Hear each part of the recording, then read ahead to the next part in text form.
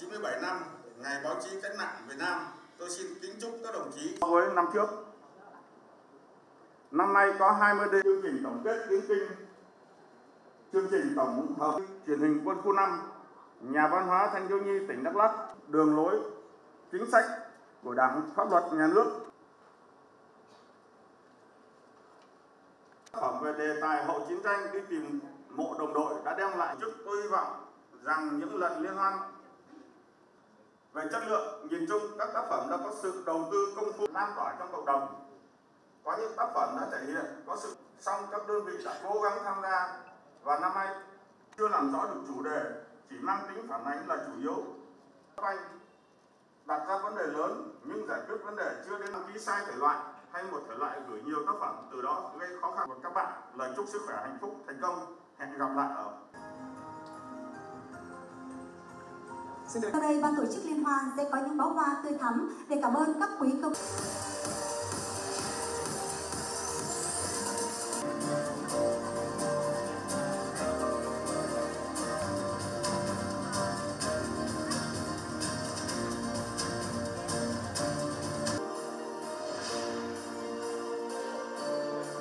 Trần Văn Hiền, ông Trịnh Quang Kim và quý cơ quan doanh nghiệp đã đồng hành cùng với đài phát thanh và truyền hình Đắk Lắk. đầu tư rõ nét các vấn đề trong phát hành truyền hình tỉnh Đắk Lắk lần thứ 13 năm 2022 có 23 đơn vị tham gia là đài truyền thanh truyền hình các huyện, thị xã. chứ không phải không phải là nói theo kiểu đánh giá phong trào là các tác phẩm thì những cái tác phẩm đi vào thực sự những cái điểm nóng như là vấn đề quan tâm đề tài à, phút rất là lớn đến à, năm nay thì đã chọn ra được nhiều cái chân thật của cuộc sống hàng ngày trên địa bàn tỉnh đồng thời cũng động lực cho các cá nhân phóng viên, những người làm báo, đồng đoạt giải tại liên hoan. Xin mời quý vị và các bạn chúng ta sẽ cùng thưởng thức một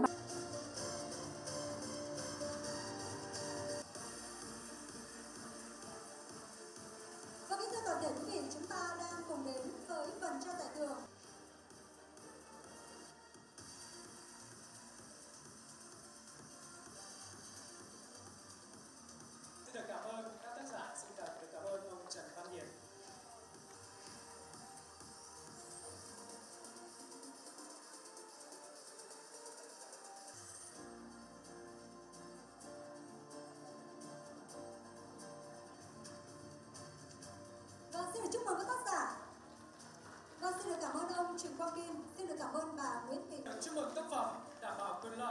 cho người tham gia bảo hiểm xã hội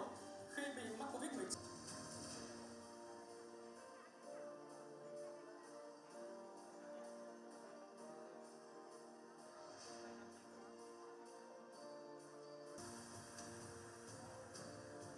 Và vâng, kính thưa quý vị, chúng ta cùng đến với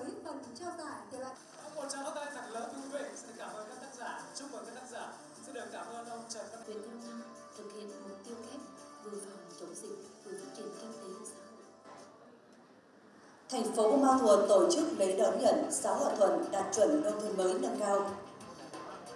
thu hoạch các loại cây trồng đông xuân Chi cục thuế DK Magrac áp dụng hệ thống hóa đơn điện tử. Và kính thưa quý vị, chúng ta đang cùng đến với phần trao giải thưởng thể loại chương trình tổng hợp tiếng phổ thông, phát thanh và truyền hình.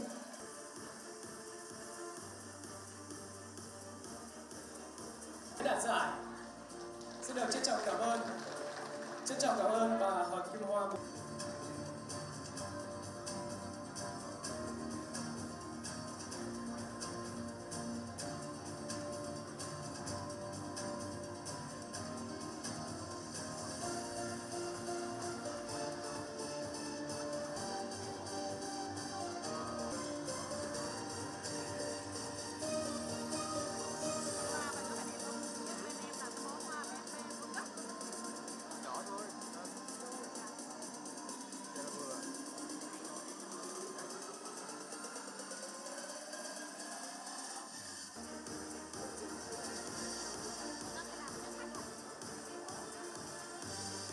hãy dành tặng một tràng pháo tay thật lớn để chúc mừng cho các đơn vị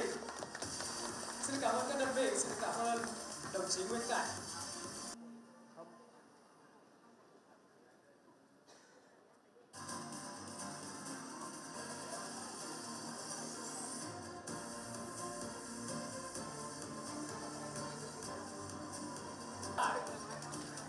Vâng, xin được cảm ơn ông Trần Văn Hiền và ông Trịnh Công Hiền.